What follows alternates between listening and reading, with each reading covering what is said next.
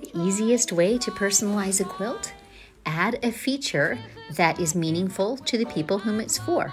So, this quilt was made by my client Heidi, and it's a wedding gift for her son and his new bride, and they're very fond of the outdoors and kayaking. So, the pattern is The Mountains Are Calling by Janet Rae Nesbitt, and Heidi added a lakeshore scene, some waves to the bottom edge, and also added the two kayaks.